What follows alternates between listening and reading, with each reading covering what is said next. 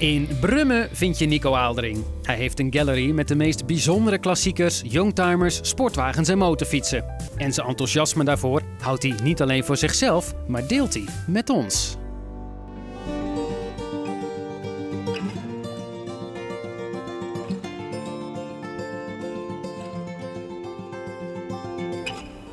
Het contrast is mooi, hè?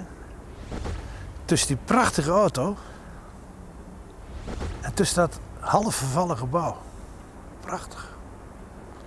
We hebben het vandaag over een eh, De Tomaso Mangusta.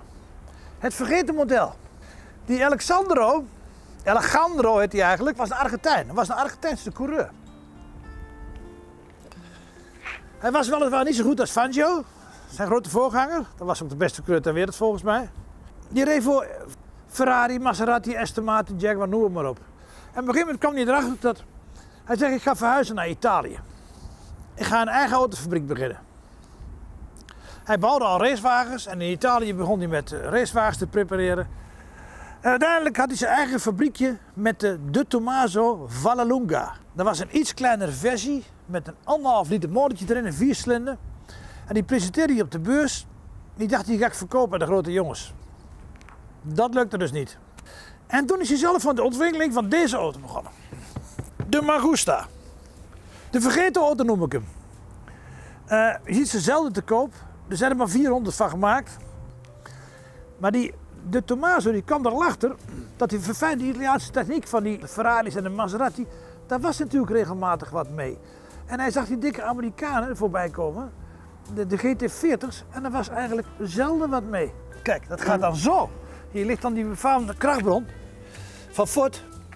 Er zit een F-bak erachter, een Duitse bak. Dat doen ze wel goed, de Italianen. Een Duitse versnellingsbak, die gaat niet kapot. Tja, wat een auto.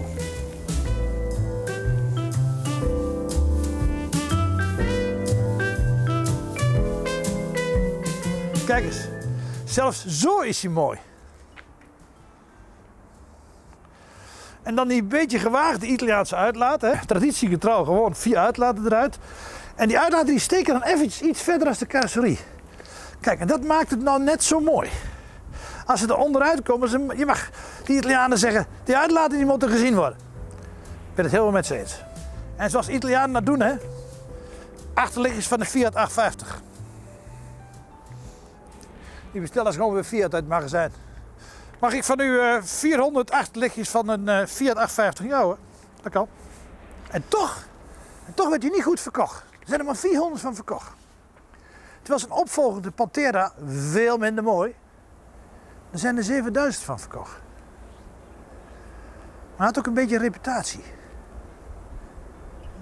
Bij hoge snelheid werd hij gevaarlijk. Daarom denk ik dat de helft van die auto's verdwenen is. Boven de 200 kilometer, en dat kon je toen nog, je kon over de 200 kilometer rijden in 1970. Dan was hij een beetje zoekerig. Hoe kan dat nou? De gewichtsverdeling was niet goed.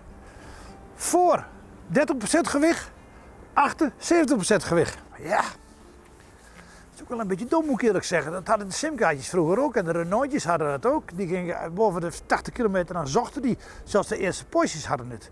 Die waren zoekerig. Dat was de gewichtsverdeling. Maar als je raceauto's bouwt, zou je toch van geleerd moeten hebben. Hij dus niet. Dat heeft hij wel met de Pantera opgelost. Overigens, zijn gemaakt voor 1,80 meter. En ik ben 1,85. Dus je begrijpt hoe ik erin zit. Dat is nou weer typisch Italiaanse arrogantie. Maak dat ding nou in godsnaam 5 centimeter langer of groter of weet ik veel. Dat je er fatsoenlijk in kunt zitten. Maakt niks uit, hij is heel leuk.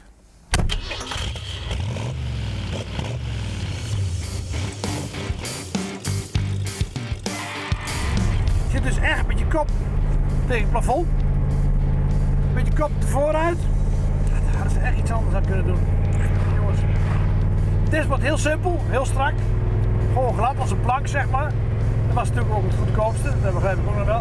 Hij heeft wel airconditioning, dat is goed nieuws. Echt gemaakt voor de Amerikaanse markt.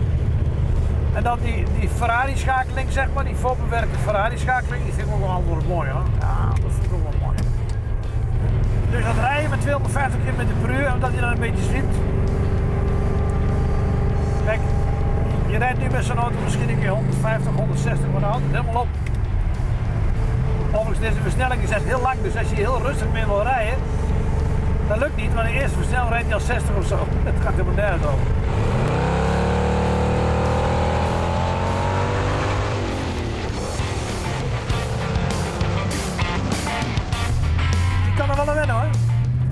up.